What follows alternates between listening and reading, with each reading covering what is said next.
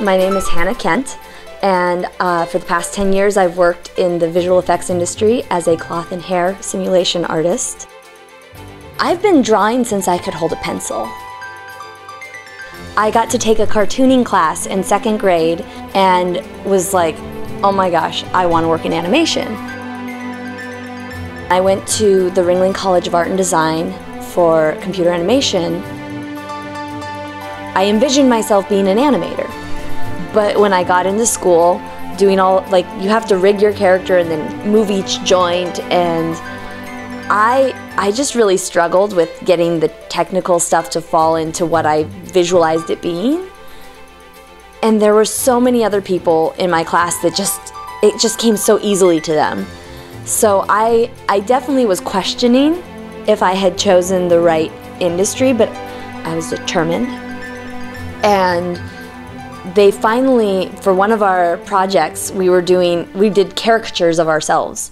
And they kind of opened up the opportunity to play with um, hair and cloth, and they kind of gave us little demos in class. And I just was, I was like, that looks like fun. I'm gonna put hair on my on myself. And I went back to my, my dorm, and I stayed up all night because I was having so much fun placing the hairs and styling it, and then making it move and like bounce around and it was just such a cool cool moment that like that it that came to me. That was the part that made sense and that's when i started to realize i could specialize. I could do hair and cloth. The more that i did the more i fell in love with what i was doing because costuming and things have been a hobby of mine, it was kind of a way for me to be a digital seamstress and a digital costumer for these movies that I was working on. My first job out of school was getting hired to work on Alvin and the Chipmunks. So it was the perfect blend of like fur and the little hoodies and all that fun stuff.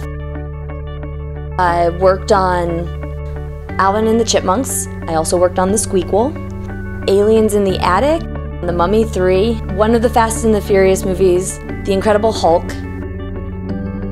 Had an opportunity to move over to Sony. So I worked on Alice in Wonderland, Arthur Christmas, The Amazing Spider-Man, Oz the Great and Powerful, Hotel Transylvania, and Cloudy with a Chance of Meatballs 2. While I was at Sony, it was actually when I got married. We both work in the same industry, but that means that sometimes one of us is working and the other one isn't. We both were laid off. So we moved up to the Bay Area. I applied and ended up getting hired by DreamWorks PDI. Coming up to the Bay Area and working for, for DreamWorks, working with their Tech Initiatives department, was such an eye opening experience because, unlike working in film, I was working with these, these clients, it really put me in touch with another industry that I would not have normally had access to. I was able to talk directly with Burberry. I got to peek behind the curtain of what, what do these big fashion houses do? What, what do they focus on when it comes to their branding, their tech packs? How do they want themselves to be perceived? It was so fascinating it really fueled my desire to want to start my own company. I've been riding motorcycles for the past seven years. Something that I realized even back when I first got into motorcycles was that there just was not a lot of gear options for women and kind of threw around the idea of, oh, it'd be cool to start a, start a line and just never, never really pursued it. I never quite had confidence in myself as a designer. I could draw, but was it good? Was like was the fashion side of it there? I have been cosplaying or making costumes and dressing up and going to conventions for 15, 16 years now. Ashley Eckstein, who is the voice of Ahsoka on the Star Wars Clone Wars series, started her own company creating um, awesome nerd fashion for women. As her business took off, She she has been able to collaborate with other companies like Kohl's and Hot Topic, and in the past three years started up a geek couture fashion show at San Diego Comic Con. Each year, they pick two winners who get to collaborate and design with Her Universe and Hot Topic on a line of clothing that will then be released and sold at Hot Topics across the nation. They'll do a judge's pick and then an audience pick. This third year, they also did an at-home pick so that people could vote on the internet. So there were three winners. Uh, and this year I actually won for a design that was inspired by Furiosa from Mad Max. And I was picked by the judges, which for me was a really, uh, really great moment.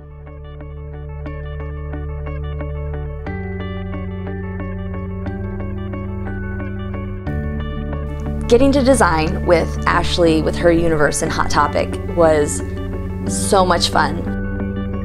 This has really not just given me confidence in myself as a designer, but confidence that I'm on the right path. I think anyone who starts their own business has moments of doubt, and this is just what I keep coming back to to remind myself that I'm on the right track and I can do this. If if Hot Topic and her universe can believe in me, I should believe in myself. We rely so much on letting the world define us instead of defining ourselves. So, you know, I may only be five foot one, but I love motorcycles and I ride them and I enjoy it. But I also love ice skating and I love fashion and I like sketching and I don't need to be defined by any one of these things. And I I think that that's the other side of it is when I look at women's gear, half the time it's pretty much men's gear with some pink slapped on it, or a flower, or a butterfly. And I want, I know that we as women are more diverse than that. Life is too short for regret. So I'm starting this business and it might fail, but I'm not gonna look back and regret not trying.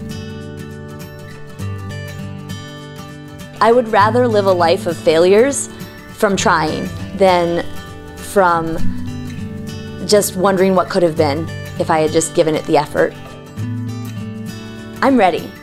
I'm ready to do this. I'm going to design gear for women. It's going to look good, it's going to protect, and it's going to be awesome. It's worth the perseverance.